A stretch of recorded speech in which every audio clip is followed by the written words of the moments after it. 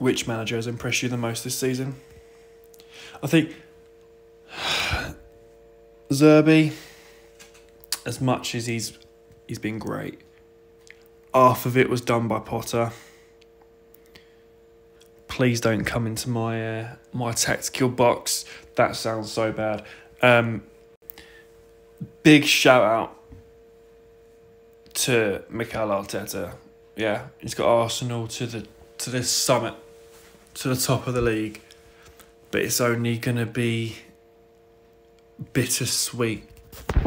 One team wins the Premier League this year, and that's us. That's the Premier League, isn't it? And then I'm gonna have a lovely slice of this, a lovely slice of Arsenal crumble. But back to this, Unai Emery. Like they were like 14th when he took over. Now they're having a late push for Europa League. If they win all their games, they could even finish top four.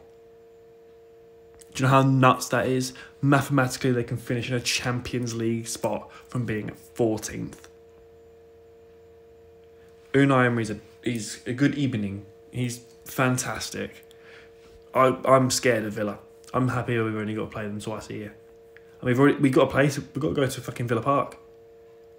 We're gonna get spanked, and then it's gonna be our top four hopes out the window. I don't want Champions League anyway. Can't be asked. You know, Tim Pot Trophy. Um, but yeah, Emery has impressed me the most this season. Then second is Arteta, and then Zerbi's. Mm.